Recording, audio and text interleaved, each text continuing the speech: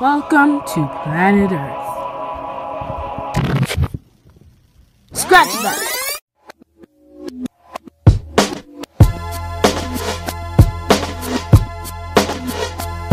Yeah, this one right here goes out to all the babies, mamas, mamas.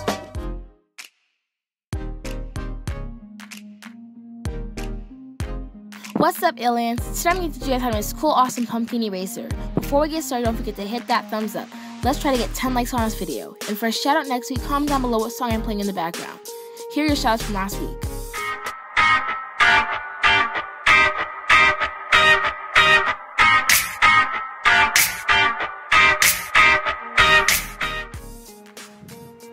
Here are your materials.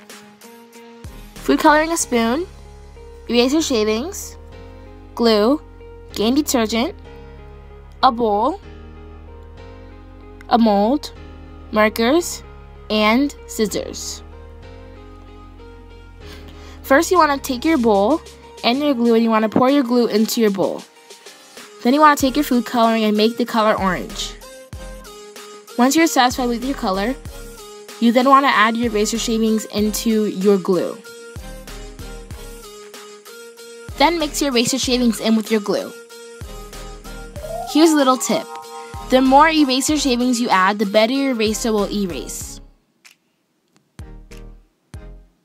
Once you're done, then pour your Gain detergent into your mixture. Then it should start to come together like this. Then once you're done, you then want to take your mold and slime and you want to take your slime, put it into your mold, and using your spoon, you then want to flatten it. You want to leave this out for a couple of days until it dries. For me, to make it dry faster, I use a blow dryer. Once the eraser is done drying, you then want to take your markers and draw a face onto your eraser. I'm obviously drawing a pumpkin face since we're making a pumpkin eraser. Then, to show you guys that this actually works, I took a paper and wrote, hello. Oops, I made a mistake. Now let's see if the eraser will erase it. First, I'm going to use a real eraser, and yes, this eraser works, but it doesn't work as well as a real eraser, of course, since it's homemade.